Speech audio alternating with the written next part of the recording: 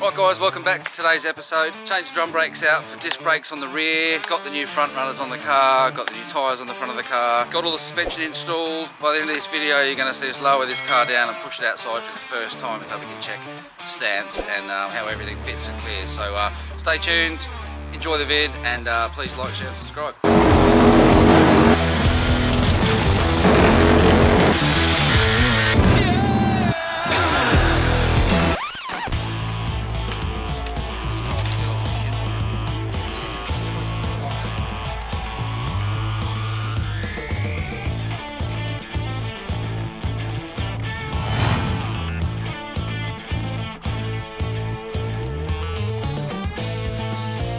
So what we did here, we were hoping to run, we had some you know, nine inch drum brakes that I had on the car before and they were all reconditioned, they're all brand new. But because the, the, the rear axle's so short, we haven't bought the rear, we've got away without modifying the rear chassis rails. So as you can imagine, the tubes are so short, by the time the drum brakes go on, the drum brakes actually sit right under the centre of the chassis rail with only about three or four inches of clearance. So too close for my liking. We're not sure how hard this thing's going to squat. So last thing I want to do is get this thing built up, get out there and have this thing launch and start rubbing on the chassis rail. So I phoned a mate of mine, Mark, uh, Mark Tony, um, he builds lots of rear ends and he had three different disc brake kits for it. So we were hoping that the offset on these discs would bring the brakes out past the chassis rail, which is exactly what happened. So they're just a GM disc and caliper, not sure exactly what they're off. I just redraw the stud pattern because we've got big strange axles. The centre's quite large, so I've machined the centres of these out to, to slide over the axle. Just a Speedway caliper. It sits outside the rail now, which is absolutely fantastic. And obviously being a caliper and a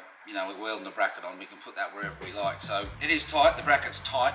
it literally sits between the spring perch and the U-bolt, but it doesn't foul at anything and you can still get everything in and out with ease. So relatively cheap.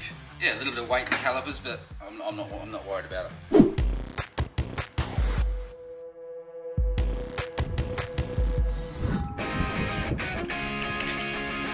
Yeah.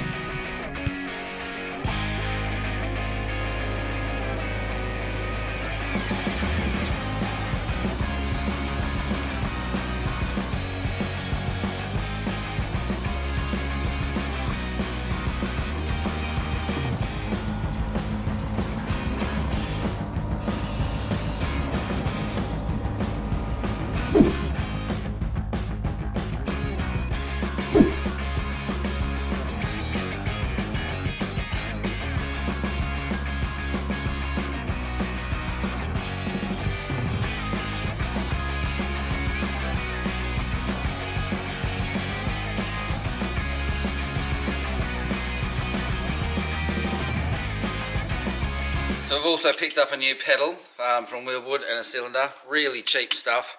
I think this was like 160 US dollars. No booster, but I think they call it a six inch, the leverage or the fulcrum point. So you don't need a booster because you've got so much leverage on this pedal. So cheap as shit. All we're gonna do is make a bracket up on the bottom of the pedal and we're gonna hang that underneath on the bottom of the roll cage. Nice, cheap, easy fix. Once we get the cage installed, which we're kind of hoping to have that installed by now, but Wayne's flat out, so another two weeks and it's in for the cage. So we're going to mount that at the same time. Once we get that back, we can start plumbing up all the brake lines um, and suspension, steering, brakes is, is all done. Moving along pretty nicely. Obviously got all the wheels on the car now, got the new slicks or the new bias plies for the front, um, suspension's in. We moved the axle back about an inch because it wasn't directly centre on the wheel opening. So those falling bars all those CalTracs bars on today because we moved it back an inch. By the time you wind these out, I wasn't happy with the amount of material that was inside those tubes. So I've bought four new ones.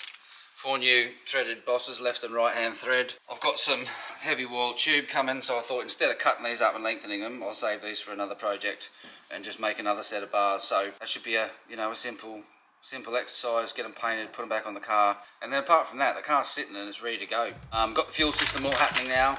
So Got the reg, got the pump, got all the fittings. These things cost an absolute fortune because they're so big, but we need it, unfortunately. Got some nice braided hose for the car. As we said earlier, it's dash 12 from the tank to the pump, dash 10 out of the pump up to the reg, and then we're gonna run dash 8 out of the regulator to the carbs.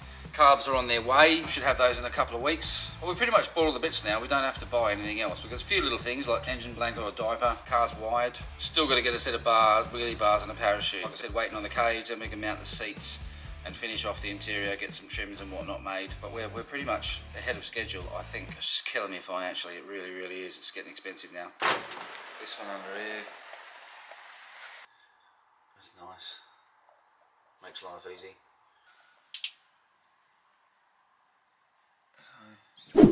We are in a little bit of a dilemma. I've had a bit of a think about this.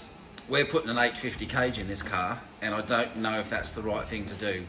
We've worked it out, and just on a thousand horse, with the gearing tyre size, if this thing hooks with a thousand horse, it's smack bang on 850 at 160 mile an hour. And obviously we've got a lot more than that.